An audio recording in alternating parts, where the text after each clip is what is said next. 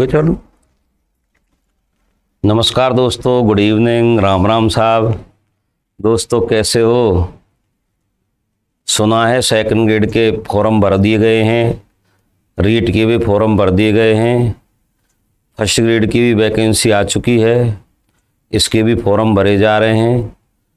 दोस्तों, ये साल विज्ञापनों के नाम से जाना जाएगा। आपकी तैयारी को हम मूर्त रूप देने के लिए, आपका मूल्यांकन करने के लिए, फिर प्रश्नों की सीरीज़ लेकर के आए। कंप्लीट सिलेबस के अनुसार भारतीय राजव्यवस्था ध्यान रखना, इस बार कर लो दुनिया मुट्ठी में। क्यों? क्योंकि दोस्तों, ध्यान रखना, ये ज़िंदगी ना मिलेगी दोबारा।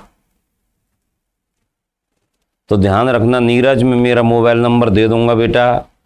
Circle F S T offline में आप क्लास लोगे क्या? अच्छा एस एस टी में? हाँ बिल्कुल महेंद्र लेंगे, बिल्कुल बिल्कुल बिल्कुल। दोस्तों, संविधान का पहला ही सवाल आपके सामने आ चुका है, आप जवाब देना शुरू करिए। बिल्कुल बिल्कुल। प्रश्न संख्या वन। प्रश्न संख्या वन आपके सामने है। Question number one on your phone so please give me answer immediately सभी बच्चों को मेरा नमस्कार है। Deepak Meena, Shivraj, Mahendra Om Prakash Mali, Vikram Pateria, Suman Poonia, Jyoti Rinku, miss party, Preeti. बहुत बढ़िया। ओम प्रकाश बहुत बढ़िया। मुन्नी राय मुन्नी राड, बहुत बढ़िया। पूजा प्रजापत, दीपक मीना, शिवराज, अवनी, ओहो, सब गॉड ब्लेस यू बच्चों। नौकरी लगनी इस बार बच्चों। बताओ रे मित्रों, फटाफट जवाब दो। मीनाक्षी गुड इवनिंग सबको मेरा राम राम है। पहले तो इसको शेयर करो। अवनी, पूजा, शिवराज, विक्रम, ओम प्रकाश, मीनाक्षी, मुन्नी, ब्रजेश पाँच पाँच दोस्तों को शेयर करो अपने को। जल्दी जल्दी पहले शेयर करो, तभी मैं आगे बढ़ूँगा। किड्स कॉर्नर इसको शेयर करो। सुमन, इसको शेयर करो। सुमन मीना, तरुण शर्मा, राम राम तरुण, इसको शेयर करो। जावेद हेलो जावेद, इस क्लास को शेयर करो अपने पाँच दोस्तों को। बिल्कुल बिल्कुल, मैं अभी बताने जा रहा हूँ, पहला ही सवाल है, काफ़ी अच्छे उत्तर आ रहे हैं आप लोगों के। बिल्कुल, मैं एक्सप्लेन करूँगा, गजेंद्र। नमस्ते, गजेंद्र, क्लास को शेयर करो, सरोज, क्लास को शेयर करो पहले। मैं नहीं चाहता हूँ किसी बच्चे की क्लास में सो, आपकी वजह से अगर किसी को फ़ायदा मिलता है, दोस्तों, हमें भला कर देना चाहिए। के के सर, मारौली, के के बिल्कुल जावेद मेरे से पढ़े हो, मुझे याद है जावेद अच्छी तरीके से। गजिंदर, इस क्लास को शेयर करो बच्चों, फटाफट, गुड इवनिंग, नमस्कार, राम राम। मैं फिर उत्तर देना शुरू करूँगा, फटाफट शेयर कर दो, बिट्टू ने भी शेयर कर दी क्लास आप भी शेयर कर दो। फटाफट अरे बच्चों, झमाझम कर दो माहौल को, टनाटन कर दो माहौल को, आज की शाम क्वेश्चनों के नाम। तो दोस्तों, गिरते हैं घुड़सवार मैदान जंग में। वो क्या क्या करेंगे जो घुटनों के बल चले? इसलिए लालचंद क्लास को शेयर कर। कम से कम अपने पाँच दोस्तों को शेयर करें और पुण्य कमाएँ। पाँच दोस्तों का आशीर्वाद मिलेगा। भगवान तुम्हें क्या है? आशीर्वाद देगा। सिलेक्शन भवे का आशीर्वाद देगा। शेयर कर दी, के के ने शेयर कर दिए, तुम भी शेयर कर दो। मैं नहीं चाहता किसी बच्चे का नुकसान हो। फटाफट कर दो, शेयर कर दो। जावेद, मुझे याद है बेटा, अच्छी तरीके से। गुड बहुत बढ़िया। अब मैं शुरू करता हूँ दोस्तों। बिल्कुल, देखिए साहब। कुछ आकस्मिकताओं में राष्ट्रपति को राज्यपाल के कृत्यों के लिए अनुबंध करने का अधिकार भारतीय संविधान के निम्नांक में से किस अनुच्छेद के अंतर्गत प्रदान करता है।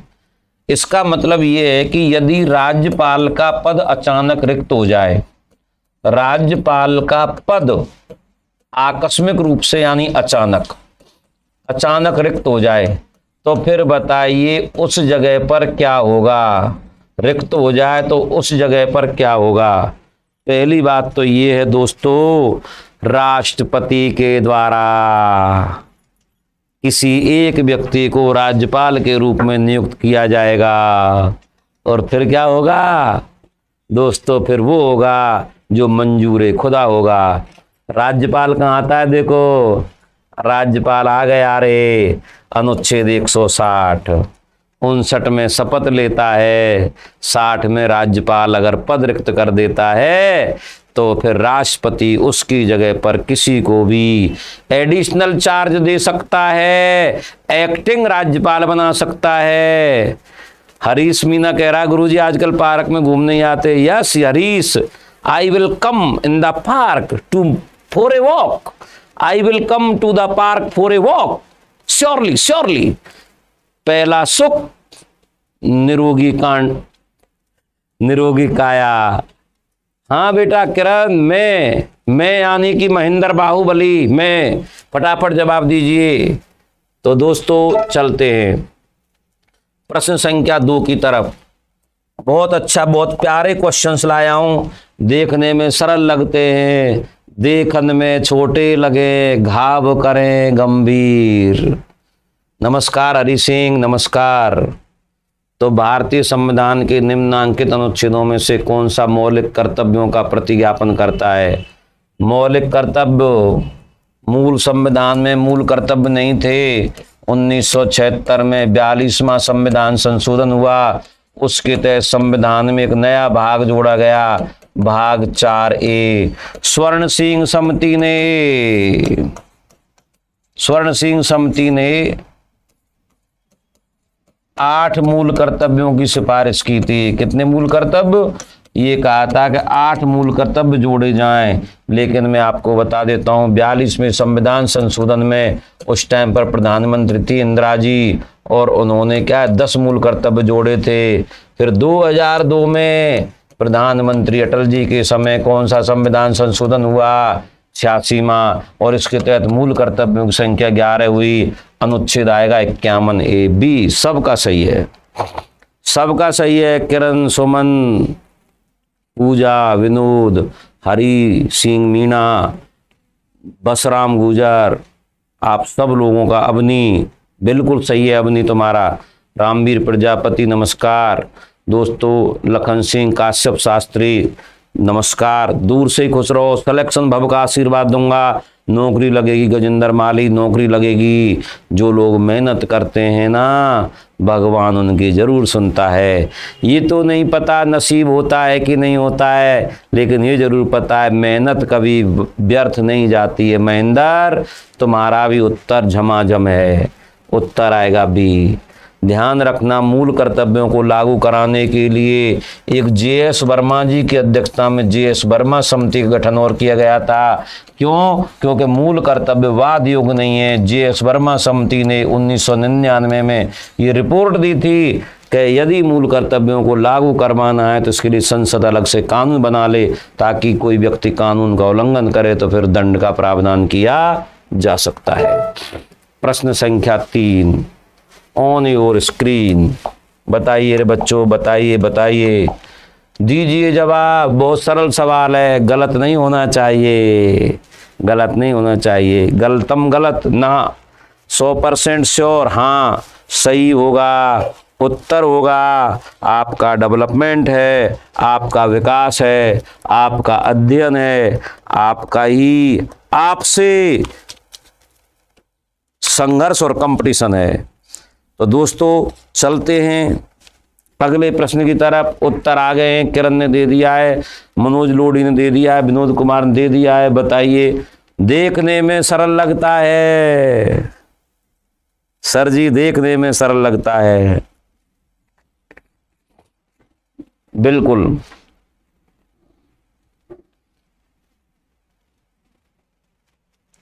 भारतीय संविधान का कौन सा भाग कल्याणकारी राज्य का आदर्श लोक कल्याण, अनुच्छेद 38 राज्य एक ऐसी सामाजिक व्यवस्था बनाए जिससे लोक कल्याण में वृद्धि हो। राज्य नीति के निदेशक तत्व अनुच्छेद आएगा सी। जिन बच्चों ने सी कहा, उनका उत्तर झमाझम है। गौरव सर का लाडला, कौन से पार्क में आओगे? घूमने। बेटा मैं तो टीचर हूँ, कभी भी घूम लेता हूँ, कभी क्लास में, कभी पार्क में, जैसे टाइम निकलता है वैसे ठीक है? सुमन पूनिया, बच्चों, जिन्होंने सी उत्तर दिया है, बिल्कुल टनाटन है। राज्य के नीति निर्देशक तत्व हमने आयरलैंड से लिए हैं, बच्चों, कहाँ से लिए हैं? आयरलैंड से लिए हैं, संविधान का भाग चार और अनुच्छेद 36 से इक्यावन। ठीक है? और इसका अनुच्छेद सी इसका उत्तर आएगा सी ठीक है? लोक कल्याणकारी राज्य और भाग चार, सामाजिक न्याय या सामाजिक समानता की स्थापना करता है। सामाजिक न्याय का अर्थ है धर्म, वंश, जाति, लिंग। वंश और जन्म स्थान के आधार पर, लिंग के आधार पर भेदभाव नहीं होना चाहिए। ठीक है? बिल्कुल पूनम, आप सब लोग क्लास को शेयर ज़रूर कर दो बच्चों, है ना? प्रश्न संख्या चार, दोस्तों। भारतीय संविधान के निम्नांकित में से किस अनुच्छेद में राज्य पद को परिभाषित किया गया है? ये प्रश्न बहुत आता है भैया, राज्य की परिभाषा। राज्य की परिभाषा। कौन कौन से अनुच्छेद में है? एक तो अनुच्छेद 36 में है, एक अनुच्छेद एक सौ बावन में है, ठीक है? और एक अनुच्छेद जो इनमें है। बताओ फटाफट। गुड। राज्य की परिभाषा है अनुच्छेद 12 में। देखो, अनुच्छेद एक तो कहता है, भारत राज्यों का संघ है, यूनियन ऑफ़ स्टेट्स। ये तो है अनुच्छेद एक की भाषा। अनुच्छेद आठ, भारतीय मूल के लोगों के लिए नागरिकता। दस नागरिकता के अधिकारों का बने रहना। अधिकारों का बने रहना। बारह राज्य की परिभाषा, अनुच्छेद बारह। तो अनुच्छेद बारह, छत्तीस और एक सौ बावन, इन तीनों में किसकी परिभाषा है? रे बच्चों, राज्य की परिभाषा है। ज़्यादातर बच्चों ने सही जवाब दिया है। गुड। गीता कुशबा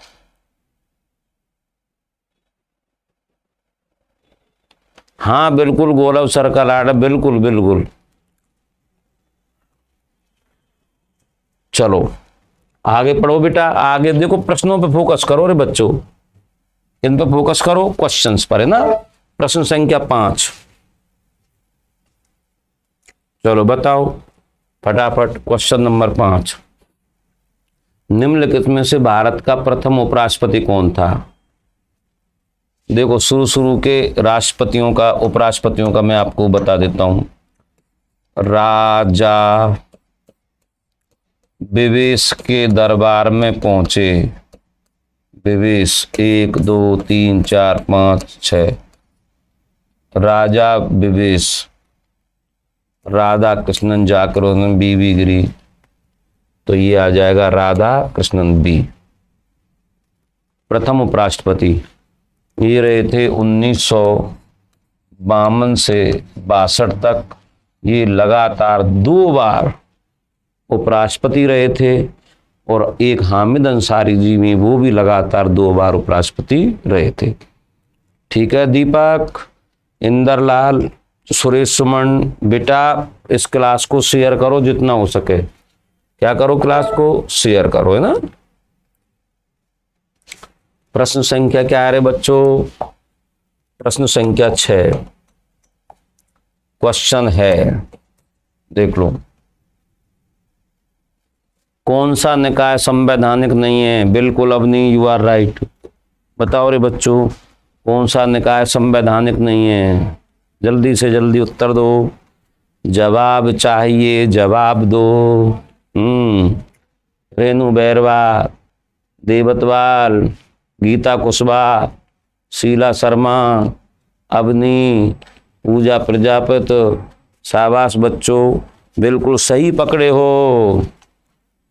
योजना आयोग, जिसे, जिसका गठन हुआ था 15 मार्च 1950 को, जिसका पदेन अध्यक्ष होता है प्रधानमंत्री, ये मंत्रिमंडल के आदेश पर बना था।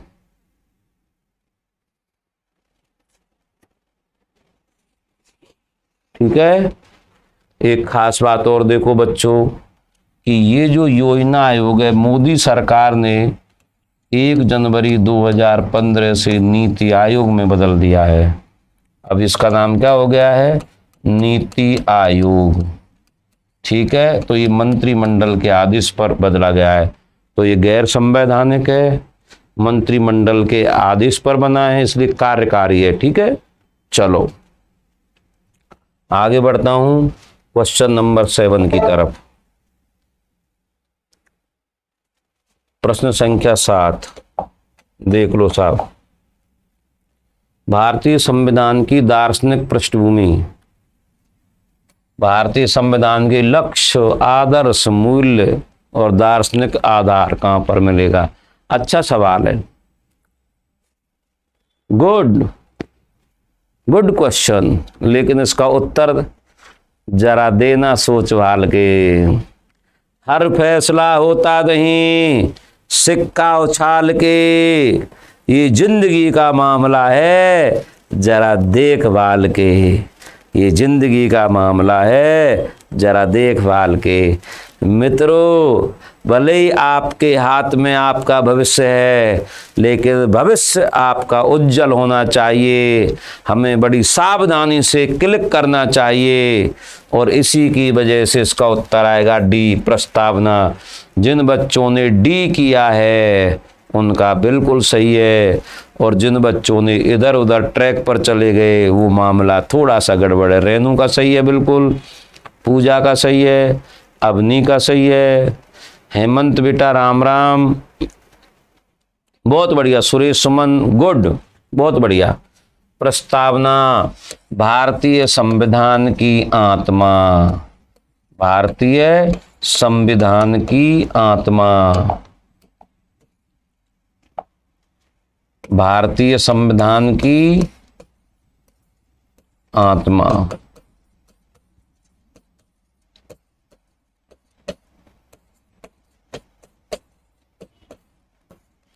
भारतीय संविधान के लक्ष्य, आदर्श और मूल्य प्रस्तावना है।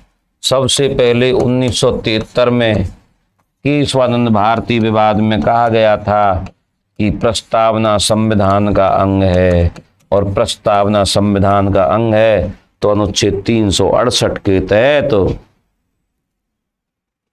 राकेश प्रजापत ऑफ़र को बढ़ाएँगे। अच्छा किरण सर थोड़ी स्पीड से करवाओ किरण, में एक्सप्लेन जो कर रहा हूँ, वो थोड़ा सा देखो, है ना? मैं कर रहा हूँ कोशिश, है ना? चलो, ठीक है? चलो। आगे क्वेश्चन नंबर आठ। क्वेश्चन नंबर आठ पर बात करते हैं रे बच्चों। भारतीय संसद से अभिप्राय है।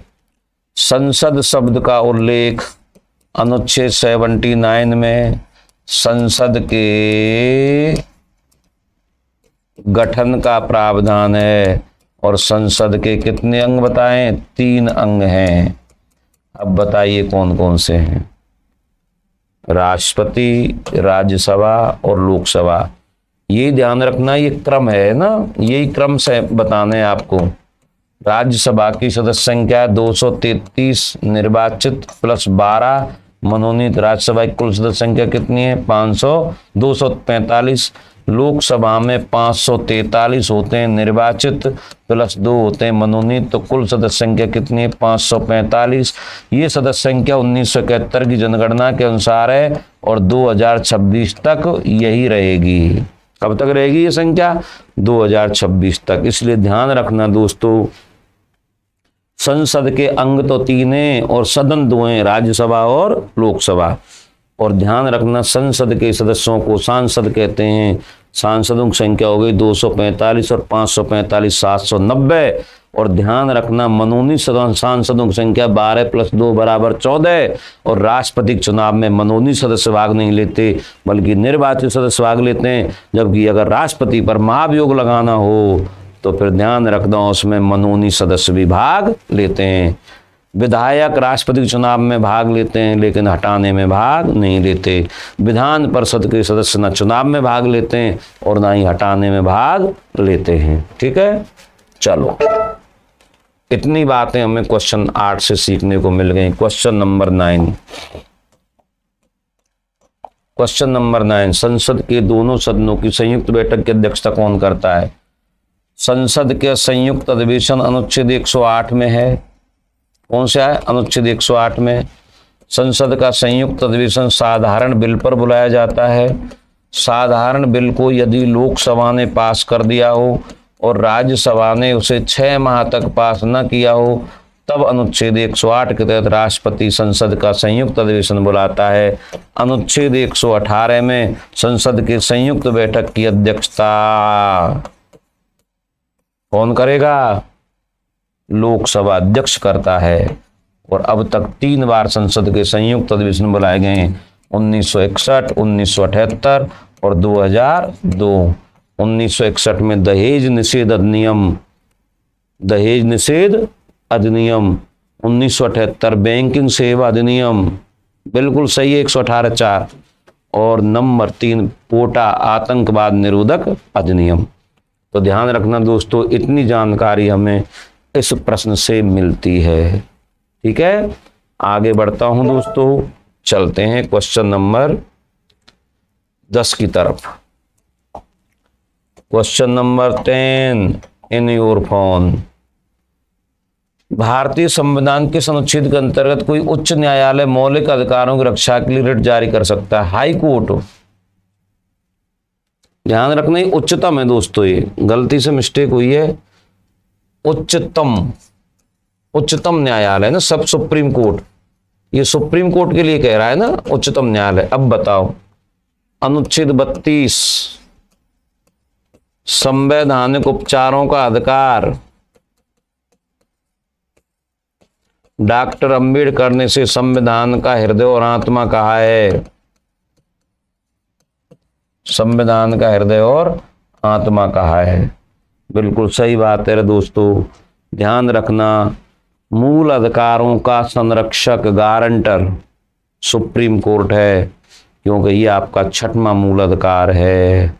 ये मूल अधिकारों की सुरक्षा करता है राज्य के खिलाफ। यदि राज्य ऐसा कानून बनाए जिससे मूल अधिकारों का हनन होता हो तो मूल अधिकारों के खिलाफ संरक्षण मूल अधिकारों के संरक्षण के लिए आप अनुच्छेद 32 में जा सकते हो।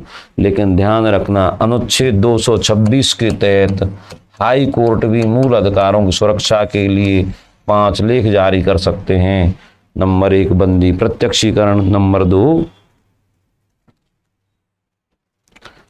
तो पाँच लेख कौन कौन से देखते हैं। चलो। तो अनुच्छेद 32 के तहत सुप्रीम कोर्ट पाँच लेख जारी करता है। कितने लेख? पाँच लेख। नंबर एक, बंदी प्रत्यक्षीकरण। ये इनका क्रम मेरे बच्चों। बंदी प्रत्यक्षीकरण। इसको लेटिन में कहते हैं हैबियस कॉर्पस। क्या कहते हैं? Habeas corpus. नंबर दो, परमादेश। क्या है? परमादेश। इसको कहते हैं मैंडामस। नंबर तीन, प्रतिषेध प्रोहिबिशन मना करना।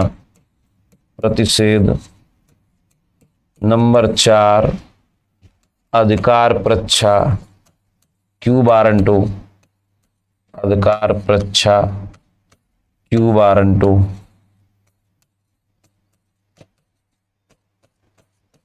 और नंबर पाँच है उत्प्रेषण लेख। सरसियोरारी उत्प्रेषण लेख। सरसियो रैरी तो ध्यान रखना, ये पाँच लेख हैं जो मूल अधिकारों की सुरक्षा के लिए सुप्रीम कोर्ट द्वारा लागू किए जाते हैं। चलो। अगला ले, अगला क्वेश्चन लेते हैं क्वेश्चन नंबर ग्यारह। भारतीय संविधान का कौन संसद राज्य, राज्यपाल को राज्य विधानमंडल के विश्रांति काल में अध्यादेश?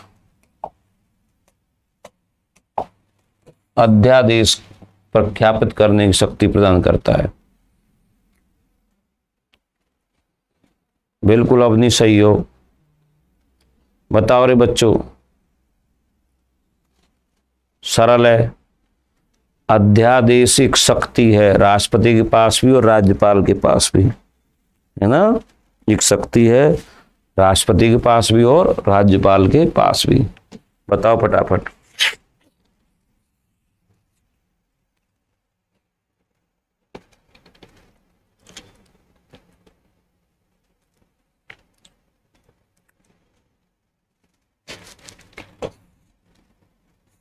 अनुच्छेद 213 अनुच्छेद 213 उत्तर आएगा सी और ये ध्यान रखना, राज्यपाल, राज्य मंत्री परिषद के परामर्श पर तब अध्यादेश जारी करता है जब राज्य विधानमंडल का सत्र न चल रहा हो। अध्यादेश एक तो राज्य सूची के विषय पर जारी करेगा और एक समवर्ती सूची के विषय पर, यानी अध्यादेश उन्हीं विषयों पर जारी होगा जिन विषयों पर राज्य विधानमंडल कानून बना सकता है, राज्य विधानमंडल के बनाए गए कानून का न्यायिक पुनरावलोकन हो सकता है तो अध्यादेश का भी न्यायिक पुनरावलोकन हो सकता है। दूसरी बात, अध्यादेश कब तक रहता है? अधिकतम अवधि तो छह माह है, लेकिन ध्यान रखना, यदि राज्य विधानमंडल का सत्र शुरू हो गया तो सत्र शुरू होने के छह सप्ताह तक अध्यादेश को पास करना ज़रूरी है। अन्यथा छह सप्ताह बाद अध्यादेश स्वतः समाप्त माना जाएगा। ये ध्यान रखने वाली बात है। प्रश्न संख्या ट्वेल्व, बारह। बताओ रे बच्चों। हाँ हिंड का क्लासेज बहुत शानदार सर बहुत बढ़िया बेटा थैंक यू फटाफट बताओ, मनोज लोडी गुड इंद्रलाल बैरवा, गीता कुशबा इसको शेयर कर दो बच्चों क्लास को ज़्यादा से ज़्यादा बच्चों को, है ना? बहुत बढ़िया। फटाफट बताओ रे। किसने कहा, राष्ट्रपति का आपातकालीन शक्तियाँ संवैधानिक धोखाधड़ी है। क्योंकि जैसे ही राष्ट्रपति को आपातकालीन शक्तियाँ मिलती हैं तो राज्य सरकारों की सारी पावर खत्म हो जाती है, संघवाद खत्म हो जाता है। इसलिए ये कहा जाता है, सरस्वती पुत्र कह रहा है, नहीं आता सर, कोई बात नहीं बेटा, मैं हूँ ना, मैं भी तो हूँ, केटी शाह किसने कहिए कि संवैधानिक धोखाधड़ी है? क्यों?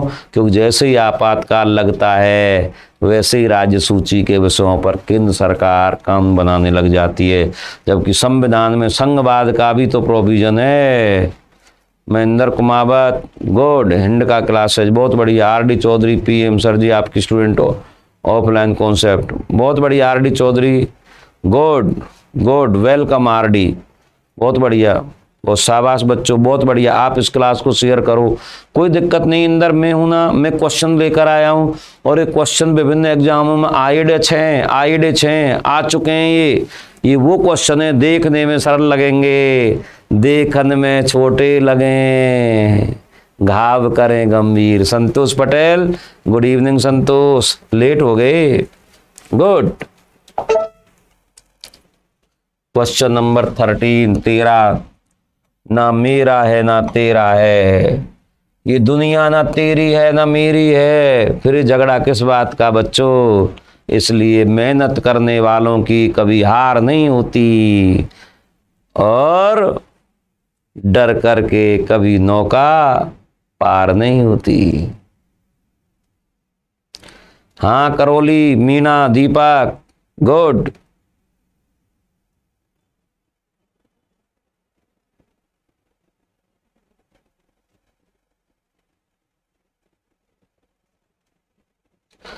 चलो ठीक है, मदराम में पीडीएफ डाल दूँगा टेलीग्राम पे बेटा, है ना?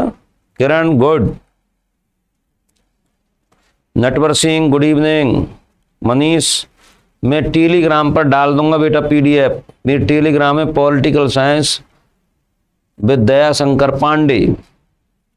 मेरा टेलीग्राम है, मैं इस पर डाल दूँगा पीडीएफ टेलीग्राम है political science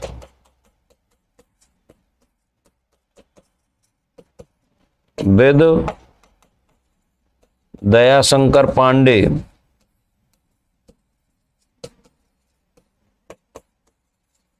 चलो ठीक है। मैं डाल दूँगा बेटा, है ना? अनुच्छेद दो सौ उनचास डी आएगा इसका उत्तर। बहुत बढ़िया। चलो मैं इसको एक बार एक्सप्लेन कर देता हूँ, है ना? चलो देखो। देखो दोस्तों, अनुच्छेद दो सौ उनचास क्या कहता है? देखो क्या कहता है दो सौ उनचास। अनुच्छेद दो सौ उनचास। यदि राज्यसभा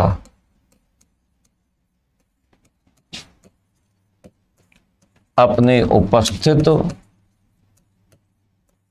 और मतदान में मतदान में भाग लेने वाले सदस्यों के भाग लेने वाले सदस्यों के दो तिहाई बहुमत से। राज्य सूची के विषय को, राज्य सूची के विषय को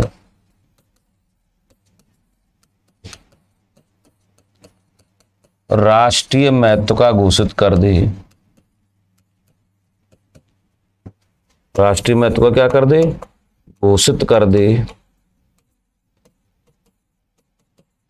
तो एक वर्ष तक उस विषय पर कानून कौन बनाएगी? संसद। और एक वर्ष बाद उस कानून का प्रभाव अधिकतम छह माह तक रहेगा। प्रभाव कितने महीने तक रहेगा? छह माह तक। तो ये ध्यान रखना, ये एकात्मक शासन व्यवस्था की स्थापना कर रहा है, क्योंकि राज्य सरकारों की शक्ति को केंद्र के पास पहुँचा रहा है। ऋषिकेश मीणा कह रहा है ऋषि केश सिंह कह रहा है, सर, आप ग्रेट हो। नहीं बेटा। नहीं, मैं कोशिश करूँगा आपके लिए बेहतर काम। मनोज लोडी राजपूत बहुत अच्छा पढ़ाते हैं। थैंक यू मनोज बेटा। बहुत बढ़िया। ठीक है, चलो मैं वापस आता हूँ। प्रश्न संख्या तेरह की बात करता हूँ ना? चलो। चौदह में प्रश्न देखते हैं।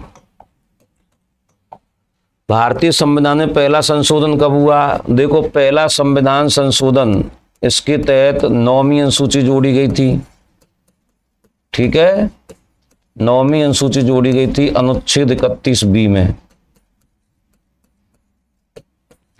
इसके तहत अभिव्यक्ति की स्वतंत्रता, अनुच्छेद उन्नीस फ़र्स्ट, अभिव्यक्ति की स्वतंत्रता को सीमित किया गया था। और और ओबीसी तथा एस सी एस टी के लिए विशेष प्रावधान किए गए थे अनुच्छेद पंद्रह में। तो अनुच्छेद इकतीस बी, अनुच्छेद उन्नीस फ़र्स्ट और अनुच्छेद पंद्रह, इतने अनुच्छेदों को तो बेसिकली इसने नॉर्मली प्रभावित किया था। ठीक है? और ये है जून 1951 सी इसका आंसर आएगा सी है ना? और ध्यान रखना अमित सिंह वेलकम है आपका। कॉन्सेप्ट एसएसटी पॉइंट में आपका हार्दिक अभिनंदन करता हूँ। हेमा शर्मा, नमस्ते। पूजा प्रजापत, मनोज लोढ़ी हेमा रेणु बैरवा, चंद्रशेखर। मैं सब लोगों को, जिन बच्चों को, जो मेरे दिल में रहते हैं। दिल में हो तुम, और रहोगे भी तुम।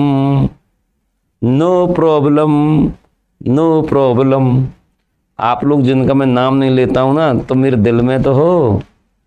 दिल में से कैसे निकलोगे? ठीक है? आठ बजे के बाद भी रहते हो तुम मेरे दिल में। ऐसा नहीं है कि हम कोई लाइव आते हो तभी रहते हो। हम तो काम ही आपके लिए करते हैं सुबह से शाम तक। ठीक है? अमित सिंह कह रहा है, बहुत मस्त है सर आप। बहुत बढ़िया। हेमा शर्मा रीट में भी है क्या ये? बिल्कुल हेमा। अब ध्यान रखना, इसमें एक चीज़ ध्यान रखना। ये जो पहला संविधान संशोधन किया था उस टाइम पर एक सदनात्मक संसद थी, क्योंकि राज्यसभा पहली बार कब आई है? उन्नीस सौ बावन में। बस ये चीज़ ध्यान रखना, संसद कितने सदनात्मक थी? एक सदनात्मक। इंदर वेलकम अनुच्छेद पंद्रह। आ गया है पंद्रह। गुड बताइए, भारतीय संविधान की ग्यारहवीं अनुसूची किससे संबंधित है? ग्यारहवीं अनुसूची, तिहत्तरवा संविधान संशोधन 1992 अनुच्छेद 243 जी में ग्यारहवीं अनुसूची जोड़ी गई थी, जिसमें 29 विषय हैं। और किन के लिए हैं? पंचायतों के लिए। किन के लिए? उत्तर आएगा डी। गुड। सबका सही जवाब है। सबका सही जवाब है। बिल्कुल, शानदार। वेरी गुड क्वेश्चन नंबर सोलह। भारतीय संविधान का कौन सा अनुच्छेद सर्वोच्च न्यायालय को परामर्श दात्री परामर्शी क्षेत्राधिकार प्रदान करता है। Good good good good good बहुत बढ़िया। अब बताओ।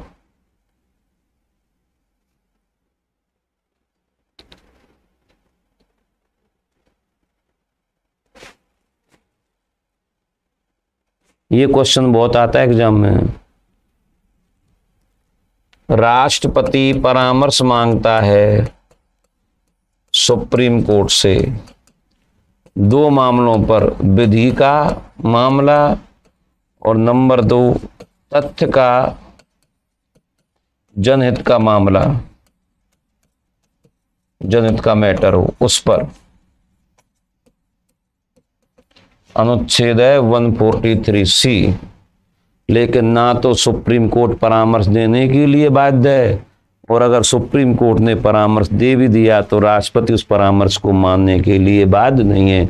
कृष्णानंद मौर्य, आपका राइट आंसर है। ज्योति रिंकू गुड गुड गंगाधर सुवाल का गुड अवनी गुड बहुत बढ़िया।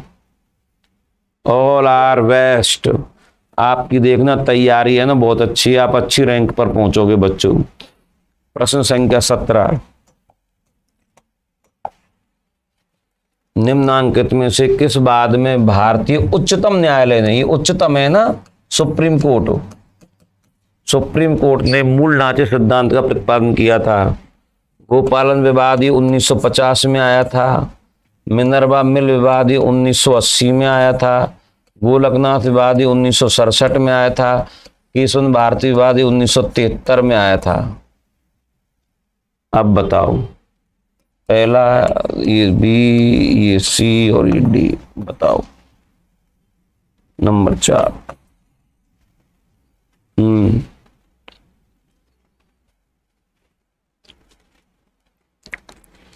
संविधान का मूल ढांचा जिसमें संसद के द्वारा संशोधन नहीं किया जा सकता, उत्तर आएगा ए उत्तर आएगा ए पंथ निरपेक्षता मूल ढांचा है, लोकतांत्रिक गणराज्य मूल ढांचा है, संघीय व्यवस्था मूल ढांचा है। ठीक है? संविधान की सर्वोच्चता मूल ढांचा है, न्यायिक पुनरावलोकन संविधान का मूल ढांचा है। मूल ढांचे की व्याख्या, मूल ढांचे की व्याख्या सिर्फ़ और सिर्फ़ सुप्रीम कोर्ट करती है। कौन करती है? सुप्रीम कोर्ट करती है। और मूल ढांचे में संसद के द्वारा संशोधन नहीं किया जा सकता, इसे नष्ट नहीं किया जा सकता। तुलसी राम सैनी, बूंदी से राम राम, बेटा झुंझुनू से। बहुत बढ़िया, परशुराम क्लास से झुंझुनू। गुड, आपका स्वागत है भैया।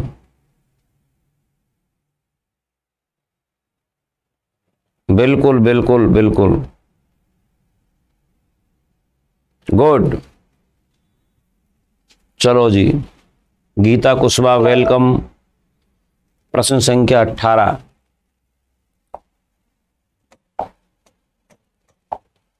निम्नलिखित में से कौन सा संवर्ती सूची का विषय है?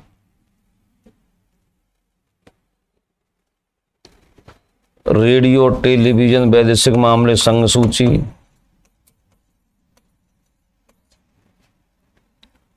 पुलिस, राज्य सूची। फौजदारी मामले, संवर्ती सूची। उत्तर आएगा बी। क्या आएगा? बी। वेलकम बच्चों, वेलकम। मणक्कम मणक्कम, वेलकम वेलकम। पूजा बहुत बहुत बढ़िया, शानदार बच्चों, अवनी। मणक्कम, वेलकम। सामाजिक न्याय का अर्थ बताओ।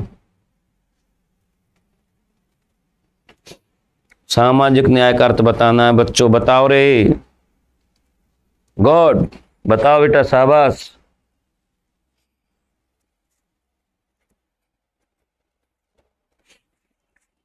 जल्दबाजी नहीं करनी है, बिगाड़ना नहीं है सवाल को। Shivani Shukla welcome Shivani. Sheela Sharma welcome good Krishnanand Maurya welcome बेटा। बसराम गुजर।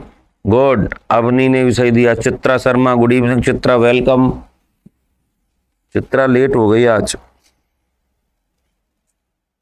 सुमन, देखो, दो अलग अलग उत्तर आ रहे हैं। उत्तर आएगा डी सामाजिक न्याय का लिंग, धर्म, वंश के आधार पर और जाति, है ना? उत्तर आएगा डी अच्छा सवाल है ये ना?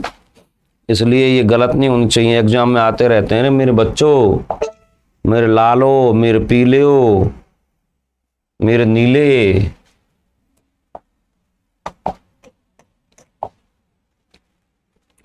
भारतीय संविधान की प्रस्तावना में कौन सा शब्द उल्लेखित नहीं है? अब प्रस्तावना याद करनी पड़ेगी। हम भारत के लोग, भारत को मैं बोल रहा हूँ, हिंट दे रहा हूँ। हम भारत के लोग, भारत को संपूर्ण प्रभु, संपन्न समाजवादी, पंथ, निरपेक्ष, लोकतांत्रिक गणराज्य बनाने के लिए तथा इसके समस्त नागरिकों को सामाजिक, आर्थिक, राजनीतिक न्याय, विचार व्यक्ति विश्वास, धर्म और उपासना की स्वतंत्रता, प्रतिष्ठा और अवसर की क्षमता प्राप्त कराने के लिए तथा उन सब में व्यक्ति की गरिमा राष्ट्र की एकता और अखंडता को सुनिश्चित करने वाली बंधुता को बढ़ाने के लिए दृढ़ संकल्प होकर अपनी संविधान सभा में आज दिनांक छब्बीस नवंबर नाइनटीन फोर्टी नाइन मिति मार्गशीर शुक्ल सप्तमी विक्रम संबत दो हज़ार छः को एतद द्वारा इस संविधान को अंगीकृत, अधिनियमित, आत्मार्पित करते हैं। Good good good. संघीय, गुड। बहुत बढ़िया। सबका लगभग सही है।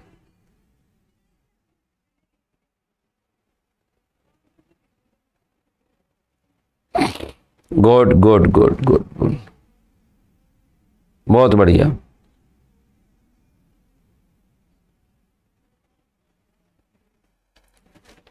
सबका ही सही है, ज़्यादातर बच्चों का।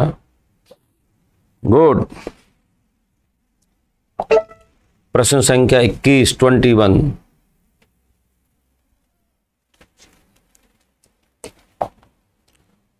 प्रस्तावना में कौन सा शब्द उल्लिखित नहीं है?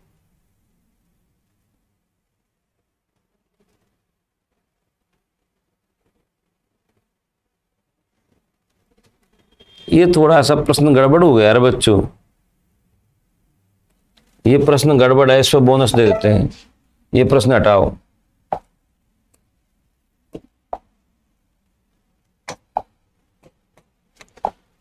कौन सा सदन का सदस्य होते हुए बिना सदन के अध्यक्ष के रूप में कार्य करता है? निम्नलिखित से कौन सा सदन का सदस्य हुए बिना अध्यक्ष के रूप में काम करता है? अच्छा सवाल है ये।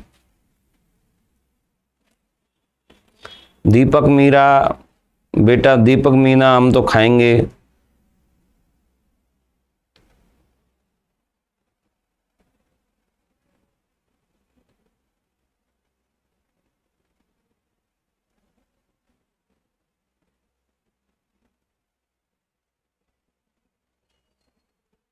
बिल्कुल। उपराष्ट्रपति, राज्यसभा का पदेन सभापति होता है, लेकिन सदस्य नहीं होता। ठीक है, उपराष्ट्रपति पद का उल्लेख अनुच्छेद तिरसठ में हुआ है। पद का उल्लेख। अनुच्छेद चौसठ, उपराष्ट्रपति राज्यसभा का पदेन सभापति होता है। अनुच्छेद नवासी, उपराष्ट्रपति राज्यसभा का पदेन सभापति होता है, लेकिन राज्यसभा का सदस्य नहीं होता। ये ध्यान रखना। ठीक है? यानी राज्यसभा में जो 245 सदस्य होते हैं, इनमें से उपराष्ट्रपति नहीं आता। क्यों? क्योंकि उपराष्ट्रपति का चुनाव अनुच्छेद छियासठ के तहत लोकसभा और राज्यसभा के सदस्य करते हैं, संसद के सदस्य करते हैं, जबकि राज्यसभा सदस्यों का चुनाव कौन करते हैं? विधायक करते हैं। कौन करते हैं? विधायक करते हैं। इसलिए ध्यान रखना, उपराष्ट्रपति राज्यसभा का सदस्य नहीं होता, बल्कि राज्यसभा का पदेन सभापति होता है। इसके बाद में अनुच्छेद ट्वेंटी थ्री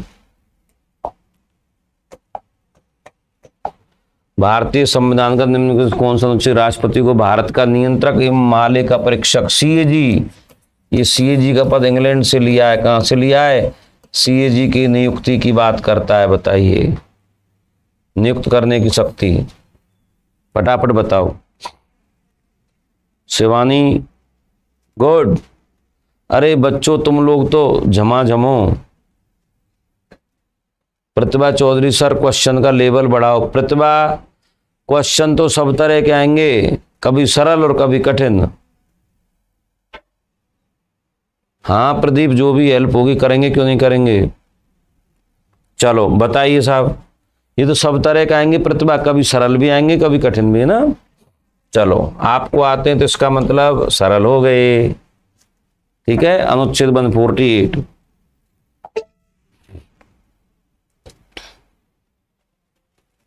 question number अच्छा ये तो रिपीट ही हो गया। लास्ट सवाल है, देख लो। अच्छा क्वेश्चन है ये। बताओ रे फटाफट। इस प्रश्न का उत्तर दो।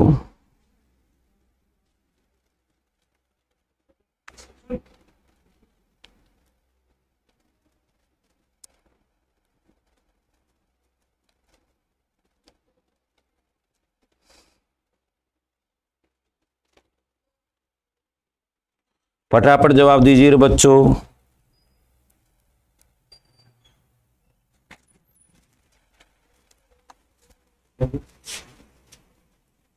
साठ वर्ष। ये गलत है, तीन वर्ष, दो वर्ष, एक वर्ष, साठ वर्ष।